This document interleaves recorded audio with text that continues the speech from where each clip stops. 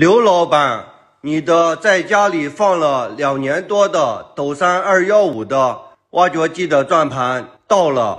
因为放的时间长的原因，转盘的表面和螺丝孔里面生锈都挺大的。转盘到了之后，首先就是把转盘的表面和螺丝孔里面打磨一遍，把齿牙打磨干净之后，看了一遍转盘齿牙和内圈外圈，没有发现断裂的情况。用表看了一下上下间隙，倒是挺大的。下面就是把转盘的堵塞打开，把里面的钢球和尼龙套都要取出来。可以看到，取出来的钢球和尼龙套上面都是有很多的生锈的痕迹，有的尼龙套都已经变形了，钢球生锈的整整的脱落了一层，轨道上面生锈也挺大的，还好就是没有出现脱落的情况。